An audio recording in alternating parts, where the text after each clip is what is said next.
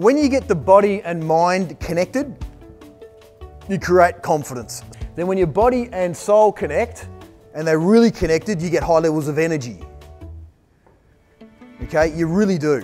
I mean, you're sleeping, you don't need to sleep as much, okay, because your mind's always in higher mind, your mind's always mastering, not childing. Okay, and then when you get the soul and body together, you really find your passion, you align with your true purpose. So the mind and the soul, or the, the high mind, whatever you want to call that, the spirit, the energy within you, it's up to you. Okay, you really get in alignment with your passion of life.